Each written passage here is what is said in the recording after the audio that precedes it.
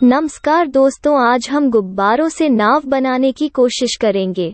सबसे पहले हम एक पॉलीथीन के अंदर ढेर सारे गुब्बारे भरते हैं। फिर हम पानी पर तैरने की कोशिश करेंगे, यह देखने के लिए कि क्या हम तैर सकते हैं। हम पानी पर तैर रहे हैं, क्या मज़ा। अगर आप पूरा वीडियो देखना चाहते हैं तो हमारे चैनल पर जाएँ और पूरा वीडियो देखें।